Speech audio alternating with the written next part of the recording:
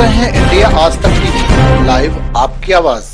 बन चुकी है। मैंने पूरा प्रशासन से इसका बायोडेटा लिया है। तो आप सब भी आप ये संकल्प लेकर जाएँ।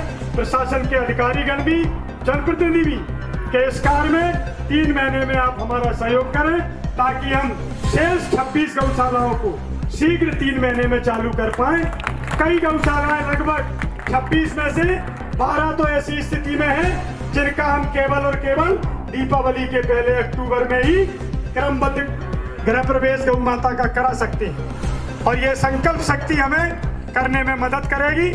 अनेक अनेक अपेक्षाएँ समाज से भी हैं, प्रशासन से भी हैं, संक्षिप्त में मैं उसकी ओर आपका ध्यान आकर्षित करते हुए जिस तरह इसके प्रशासन से हमें जो अपेक्षाएँ हैं कि आप हमारी समिति का रजिस्ट्रेशन शीघ्र कराकर मध्य प्रदेश शासन के वेटनरी विभाग से आज शाम तक लेंगे सहयोग, उनका लेंगे और कार्यक्रम को हम पुनः और उस हिसाब से बहुत ही महत्वपूर्ण दिन है हम सबके लिए।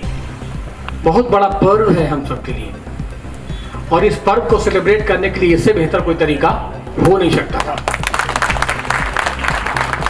ऐसे महापुरुषों को याद करने का सबसे अच्छा तरीका यही तो होता है कि उन्होंने जो रास्ता दिखाया था उस पर चल के दिखाने की कोशिश करिए, भले वो एक कदम चलिए।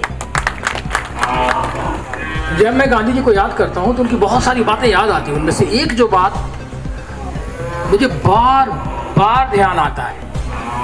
खास तौर पे जब ये कोलारस के रोड से गुजरता हूँ तो वो याद भी आता है और स्थिति देख करके मन दुखी भी होता है। और ये कि गांधी जी कहा करते थे कि अगर आपके समाज के बारे में मुझे कुछ समझना है कि आपका समाज है कैसा।